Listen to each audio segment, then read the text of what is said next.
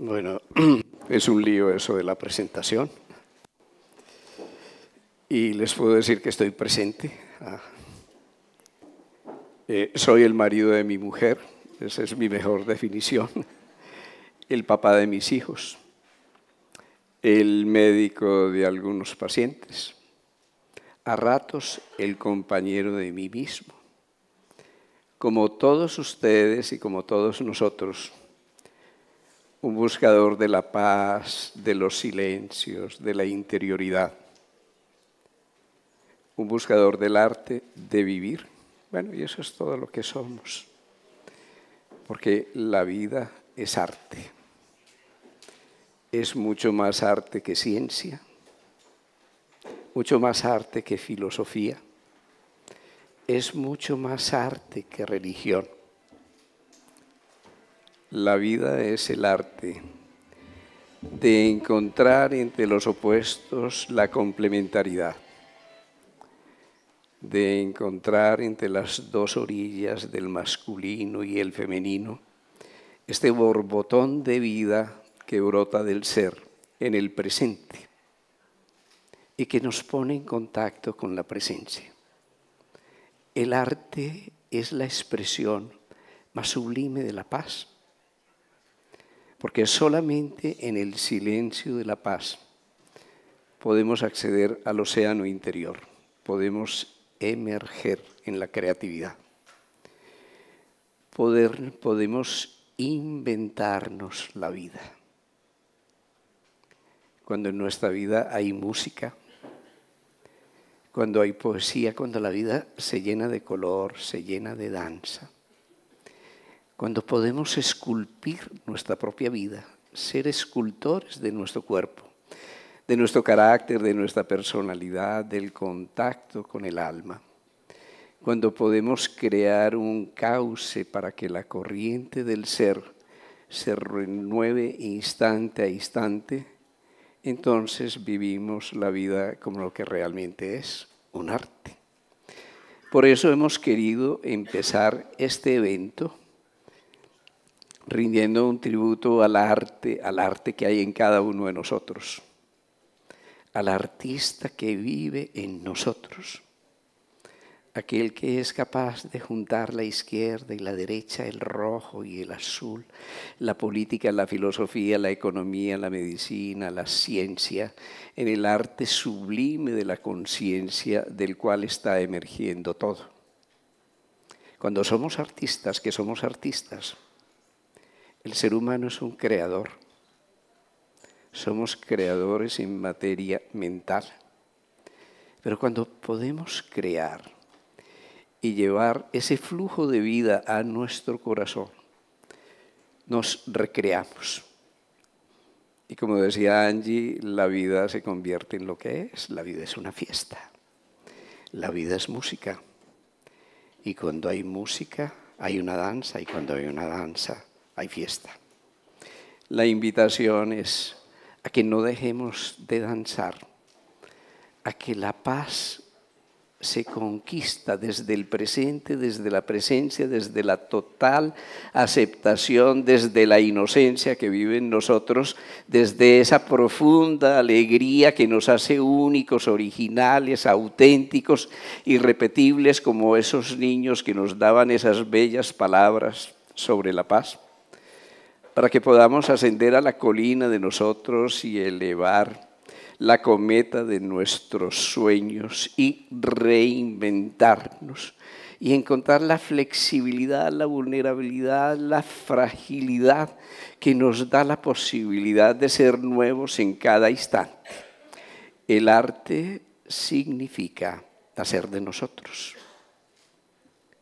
renovarnos, re inventarnos, abrazarnos, sonreírnos, permitir que en nosotros florezca el corazón, fructificar, ascender al fruto maduro de nuestra humanidad y caernos por nuestro propio peso a la tierra humilde y volvernos a sembrar y entrar en esa dinámica en la que yo no hay contrarios, en la que nos encontramos como complementarios y nos completamos, claro.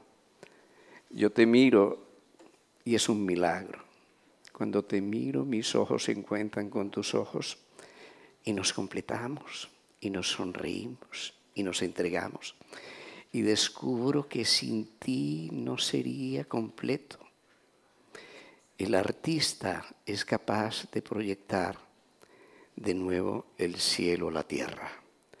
Es capaz de revelar lo que esconden los arquetipos.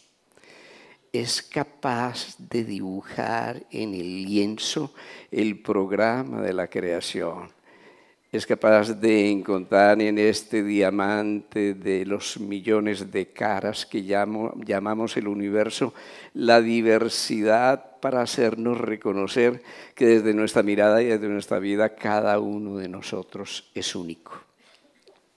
Y cuando sintamos que eso es lo que somos, artistas, creadores, únicos, originales, irrepetibles, auténticos, entonces vamos a descubrir el valor de ser humanos.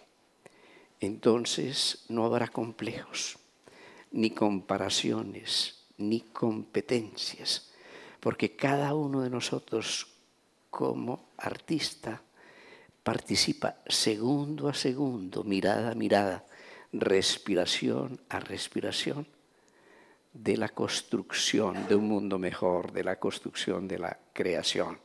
Somos creadores, somos co-creadores. Y somos co-creadores cuando podemos acceder a la mayoría, a la maravilla del silencio, del vacío, de la levedad del campo cuántico ese campo de la conciencia universal que nos va entretejiendo a un universo que no es local, a una mente que es no local. Y cuando así podemos aterrizar en nuestro corazón y sonreírnos y abandonarnos como niños y reinventarnos y reconstruirnos, cuando así nos encontramos con nosotros desde el centro, volvemos a nacer. El arte, implica la capacidad de crearse de nuevo, de volver a nacer de nuevo. Y cuando así restauramos la autenticidad, el valor de la inocencia, cuando podemos volver a nacer, entonces surge algo maravilloso, la paz, la paz que realmente somos, la paz que somos en el ser, la serenidad del alma, aquella que vive en nuestro interior, y así que la invitación es a que durante este evento nos reencontremos con el niño, con la inocencia, con la infancia permanente, con la alegría, con la música, con la pintura, con la danza. Y a través de todos los artistas que nos acompañan nosotros podemos, podamos reivindicar el artista que en todos nosotros vive, el creador que vive en nosotros. A través de un mundo mejor, a través de Ananta, a través de Brahma Kumaris, de la Asociación Internacional de Sintergética, de Espacio Ronda, de los movimientos por la paz en el mundo, a través de esa enorme corriente de buena voluntad que es el potencial creador más maravilloso y más transformador del planeta, hemos hecho una propuesta que parte de la sabiduría de un gran ser humano. Es el Papa Juan XXIII. Yo no voy a hablar del Oriente, ni de Buda, ni del Cristo, sino que vamos a hablar de Pacem Interris, de la paz en la tierra. Nos proponía Juan XXIII que la paz está sustentada en cuatro grandes fundamentos. Primero, la verdad. La invitación es al arte de vivir siendo la verdad, no la verdad del dogma, no la verdad externa, sino la verdad auténtica, la verdad del ser que somos.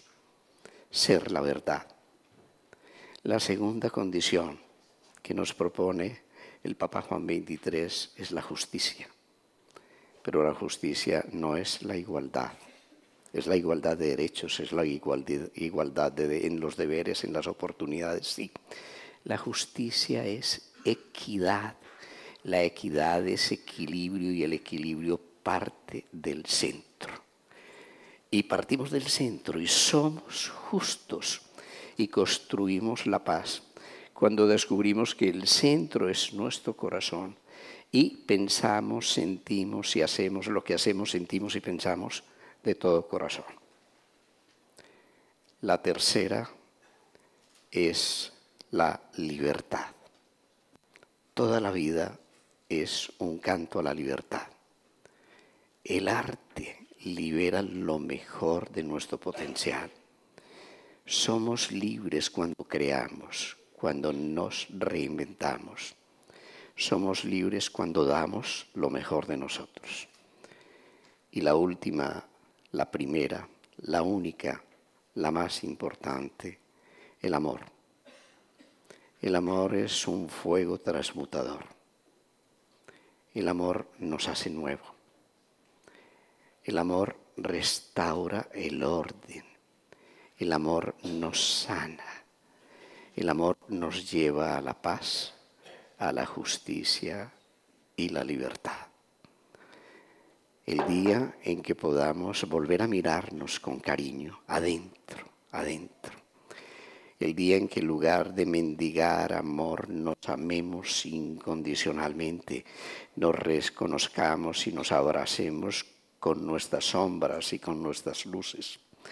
El día en que nosotros practiquemos el amor incondicional y amemos la noche como el día, el sol como las estrellas, el rojo como el azul, el día en que pintemos este planeta con el arco iris de la diversidad y en esa diversidad reconozcamos la belleza de la unidad, vamos a reconocer que vivir no es ni más ni menos que el sublime arte de amar. Muchas gracias.